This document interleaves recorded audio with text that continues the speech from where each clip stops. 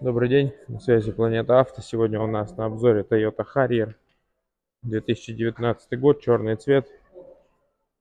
Бензиновый двигатель объемом 2 литра, 151 лошадиную силу. А КПП, передний привод, оригинальные литые диски на хорошей летней резине, пробег 25 тысяч километров. Аукционный балл 4 имеются, повторители в хромированные вставки, ветровики, спойлер. По салону ухоженный комбинированный темный салон, ткань кожа Раздельный климат-контроль, кондиционер, хорошая мультимедиа, мультируль, круиз-контроль, кнопка старт-стоп, электроручник, антиюз, автосвет, электропривод багажника, электрорегулировка передних сидений, электрорегулировка зеркал. Пройдемся по ЛКП.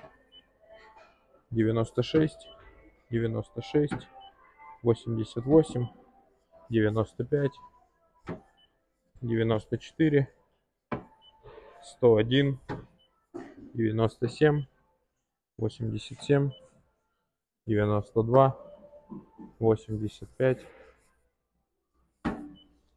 103.